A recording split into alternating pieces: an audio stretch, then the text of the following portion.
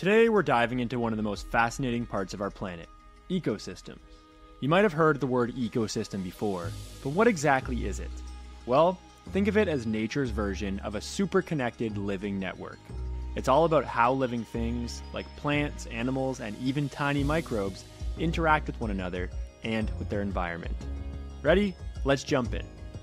First things first, what exactly is an ecosystem? An ecosystem is a community of living organisms, like plants, animals, and bacteria, that all live in the same area and interact with each other and the environment around them. But it's not just about the living things, it also includes non living components like air, water, soil, and sunlight.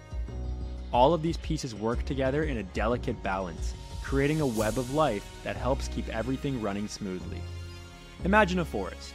In this ecosystem, you've got trees, plants, animals like squirrels and birds, insects like ants and butterflies, and even tiny fungi growing in the soil.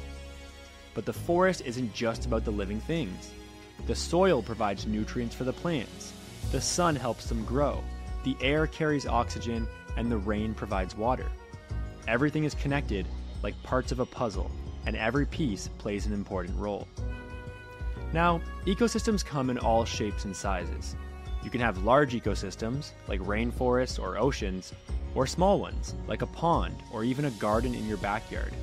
No matter the size, the key is that all the living things in an ecosystem depend on each other and their surroundings.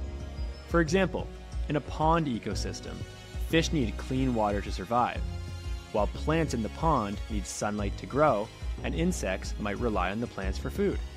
Let's talk a little more about interactions. In every ecosystem, organisms interact in different ways. One big example is the food chain. In a forest ecosystem, plants use sunlight to make their own food. They're called producers. Animals like deer, which are herbivores, eat the plants, and predators like wolves, or carnivores, eat the herbivores. It's a cycle of energy moving through the ecosystem. Without plants, herbivores wouldn't have food, and without herbivores, carnivores wouldn't either. Everything is connected. But it's not just about eating. Organisms also interact with each other in other ways, like helping each other out. This is called mutualism. For instance, bees pollinate flowers while collecting nectar for food.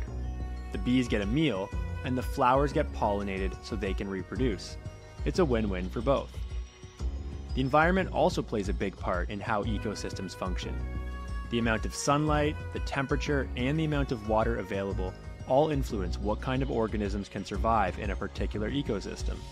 That's why you won't find the same plants and animals in a desert ecosystem as you would in a rainforest. They're adapted to very different conditions. So, what's the big picture? An ecosystem is all about balance. The living organisms in an ecosystem rely on each other and their environment to survive. When everything's in harmony, ecosystems can be healthy and sustainable. But when something disrupts that balance, like pollution, climate change, or habitat destruction, the whole ecosystem can be thrown off. That's it for today's lesson. Next time you're outside, take a closer look at the plants, animals, and environment around you. Whether it's a park, a pond, or your own backyard, you're standing in the middle of an ecosystem, full of interactions that keep life thriving.